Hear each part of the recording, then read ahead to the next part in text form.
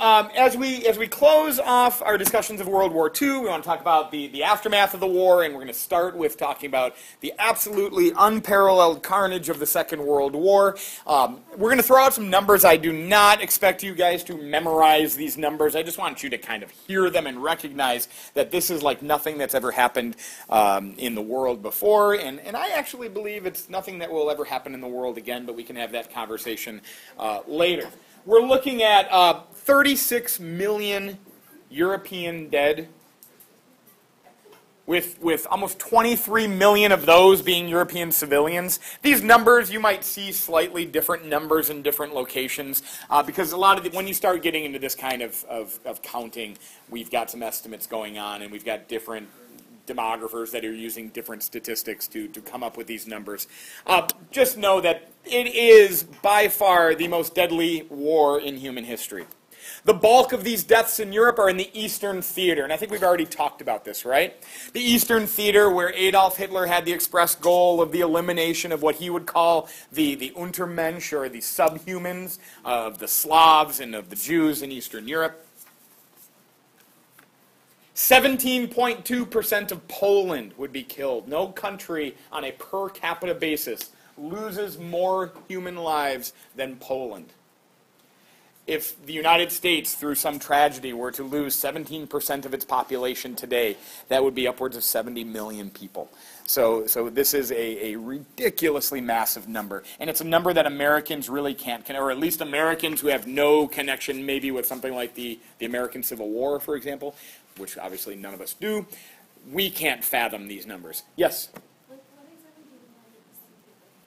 The Eastern Theater of, of the War, that's a good question. So uh, if, I, if I haven't made this clear, in World War II, there are two main theaters of war. There's the Pacific Theater, and then there's the European Theater. All right. So the Pacific Theater is kind of kind of like in World War One we would talk about the Western Front and Eastern Front, but World War Two is so much bigger. So we've got the Pacific Theater of war, and then we've got the European Theater. Now we're zooming in on the European Theater, and you might talk about things like the Eastern War or the Eastern Theater. Within there, we're talking about Eastern Europe or the Mediterranean or the Italian campaign or the Western Front again. Um, so in this case, I'm talking about Eastern Europe. So the vast majority of deaths in World War II in Europe were taking place on the eastern uh, theater of the war. The fighting in the West and the fighting in the Mediterranean saw far less uh, civilian casualties than in, in Eastern Europe. Civilian deaths were proportional to the amount of resistance that, that the nations were fighting. And we remember we've already talked about in, in Poland, for example, in Eastern Europe, those people knew that if they, if they ultimately lost, they would be killed. Whereas in France, if you were a French citizen, you could go on living your life and you could live a relatively similar life to what you were living before the war. And you were not on Adolf Hitler's list of, of peoples to eradicate. Then in the, in the Pacific Theater, possibly over 30 million dead there. And the majority of those deaths are going to be Chinese civilians. So we look at this, this pie graph of, um, of the deaths in World War II, and we see two countries, the Soviet Union and China, taking a vast majority of all of the deaths in World War II. Obviously, the Chinese um, at the hands of the Japanese in the Pacific. In addition to the, the human toll, We've got strategic bombing devastating cities, whether they be Japanese cities like Hiroshima and Nagasaki from atomic bombs, or Tokyo in, in uh, March of 1945, which would be firebombed in Operation, anybody? Meeting House, Operation Meeting House. Um, there might have been other, other bombing operations. Okay, I'm not as familiar with that. Um, so um, the firebombing of, of dozens of Japanese cities. And then that also happened in the Western Front, or in, in the European theater, with the American and, and British firebombing of German cities. So um, cities would be destroyed in the Second World War. Agriculture was disrupted in most of these countries that were fighting in war. So you got tremendous physical destruction. This is the kind of stuff that the United States, in a post-war world, our memory of World War II will be remarkably different from Soviets' memories, or Germans' memories, or French memories, or Polish memories. We just have a hard time getting the war. We fought in the war, and we fought valiantly in the war, and we experienced massive losses in the war 400,000 American dead. That's the, that's the second most deadly American war after the U.S. Civil War. Right? So this is a huge war for the United States but none of it, short of Pearl Harbor, was fought on American territory. Good? The other thing we need to talk about at the end of the war is the growing rift between the Allies. World War II is a kind of a weird story. World War I has a little bit of a similar story to it, where prior to World War I, you've got an alliance between France and Russia.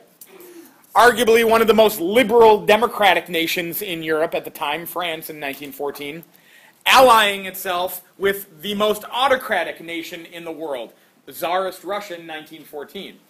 Well, in World War II, we have much the same. We've got democracies in the United States and, and, and Britain and countries that, that support ideas of free market enterprise in the United States and Britain allying themselves with the most authoritarian communist regime of Joseph Stalin. That's a, that makes for strange bedfellows, we, we, is the phrase. They don't seem to get along very well. But they are kept in this alliance, this grand alliance as we've called it, they're kept in this alliance because they have a mutual enemy, right?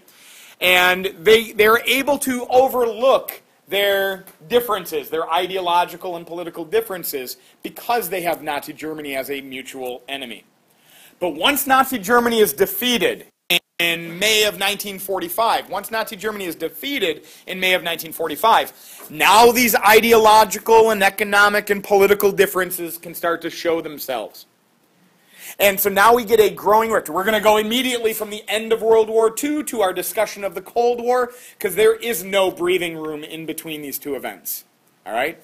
It's not like we all celebrate and have a few years off from tensions. Tensions will begin immediately. One of the first questions is what's going to happen with Poland? Poland is right on the, on the forefront of this line between the American world or the American sponsored world and the Soviet world. What's going to happen to Poland? The United States and Britain want to see Poland be free. They want to see Poland have free elections. They want to see Poland be sovereign. When I use that word, do we understand that word, sovereign? to rule itself. Yeah, Poland gets to decide how Poland wants to be ruled. Remember, the war started why? Because Poland was invaded. So, as I've said before, how can you start a war to defend a sovereign Poland only at the end of that war to give Poland to the Soviet Union? That seems to be problematic.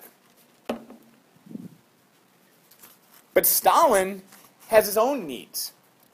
And Stalin's experience in the Second World War is an experience of the biggest disaster that has ever befallen his country, maybe since the Mongols have come in. World War II cost the Soviet Union more human lives than any other nation uh, fighting in the war. And Stalin has a desire for future security. And in Stalin's mind, future security comes through occupying or controlling territory, or using this land as what we could call friendly buffer states. So if Germany were to ever amass an army again that could threaten the Soviet Union, they'd have to go through a friendly Poland first. That's what Joseph Stalin wants. Well, we certainly don't want that to happen, but Joseph Stalin's got the upper hand in this debate because what is in Poland in 1945? Yes, sir. Soviet troops. Much like the game of Risk that you guys may have played at some time in your life, when you conquer territory in the game of Risk, when you take land from your opponent in the game of Risk, you leave armies behind in every country that you take over. And as the Soviet Union expanded their reach and they liberated Eastern Europe from Nazi Germany, they leave armies behind in all of these countries they liberate. So at the end of World War II, we might really want Poland to be free. But in order to guarantee Polish freedom, that would have meant us and Britain now turning our guns onto our former allies, the Soviet Union. That's not something we're going to be ready for. So ultimately, what is agreed to is that Poland is going to do a shift to the west. We're going to pick Poland up. And we're going to move Poland to the west and we're going to put it back down so the former eastern portion of Poland will now become the extreme west of the Soviet Union. And the former eastern portions of Germany will now become the west of Poland. And you can imagine this is going to cause some problems in Europe. Because who lives in here? Bunch of Germans. And they ain't going to live there after this border changes. And these are going to be uh, hundreds and hundreds of thousands of Germans who will become German refugees, who have to leave their homes. That it might have been their homes for, for centuries. They have to leave their homes and find someplace new. The United Nations uh, last week just, just reminded, attempted to remind countries like Poland about the refugee crisis that they were in in the 1940s in hopes that they would be more sympathetic to whom? The current refugees that are seeking refuge in, in Europe. Um, but they, I, I think a lot of those calls are falling on deaf ears. So, anyway, we also have a question with Germany.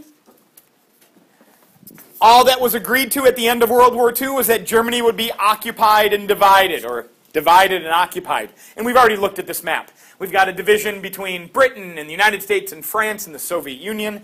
And then that capital of Germany, Berlin, will likewise be divided in the same way.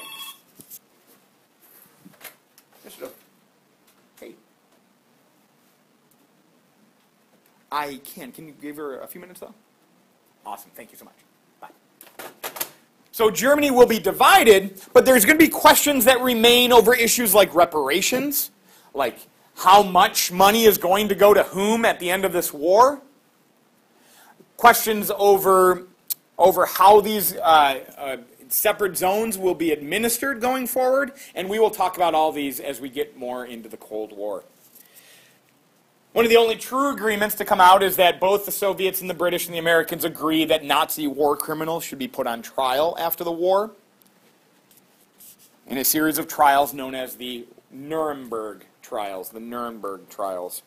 N U R E M B E R G. And I think you guys saw that depicted in that film we watched, right? For Japan, the end of the war for Japan obviously is an unconditional surrender. Post war Japan will be militarily occupied by the United States and the United States would get quickly to work drafting a new constitution for a new Japan. Aspects of that constitution include an emperor who will no longer be seen as divine and will have no political authority in Japan, but he will be allowed to remain on a throne. Mm-hmm. Pictured here, this is the Emperor of Japan during World War II, Emperor Hirohito, and he's standing next to Douglas MacArthur, an American general. And the United States would pledge to defend Japan as the new Japanese constitution does not allow for an offensive military for Japan. Very small military for Japan. So the United States will use our military largely for the next 70 years, till to this day, to defend the islands of Japan. This is a debate to this day. Japan wants to take more control over their own defense and wants to start building an offensive military. Because who does Japan see as a bigger threat, um, or their biggest threat in the world? It's China. Yeah, growing China. Um, and, um, and they're maybe not as confident that the United States going forward will continue um, the long term defense we have previously provided. The Soviet Union would also occupy some Japanese territory that they liberate during the war. We remember that at the very end of the war, on August 8th, the Soviet Union jumps into war against Japan. The three months after the, uh, the defeat of Germany, they're getting involved in the war. And so they will take some lands uh, from the, the Japanese. Um, one in particular that we'll talk about later is Soviet armies will occupy the northern portion of the Korean peninsula, while American armies will occupy the southern portion of the Korean peninsula. Korea was a Japanese colony at the start of World War II. And you guys can, you probably already know a little of the story that's going to come from there, but we'll deal with that at a later date. Questions, comments, concerns?